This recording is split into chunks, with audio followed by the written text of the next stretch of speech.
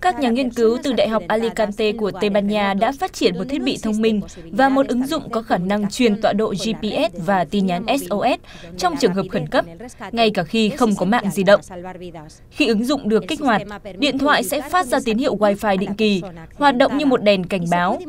Tín hiệu này chứa thông tin như tọa độ GPS của người dùng cùng với tin nhắn văn bản như tôi bị thương hoặc tôi bị mất phương hướng. Với vùng không có sóng điện thoại và không thể liên lạc được với các dịch vụ khẩn cấp, người bị thương chỉ có thể chờ đợi đội cứu hộ tìm kiếm sau khi nhận thông báo từ bạn bè hoặc gia đình. Công nghệ mới này cho phép biến một chiếc smartphone không có tín hiệu di động thành một đèn báo khẩn cấp. Các đội cứu hộ có thể phát hiện ra tín hiệu với một thiết bị được thiết kế đặc biệt, nặng chỉ 500 gram ở khoảng cách ít nhất 3 km.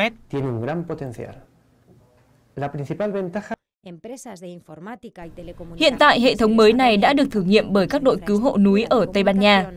Các nhà nghiên cứu cho rằng công nghệ này cũng có thể áp dụng cho nhiều tình huống như động đất hay cháy rừng lớn. Thank you.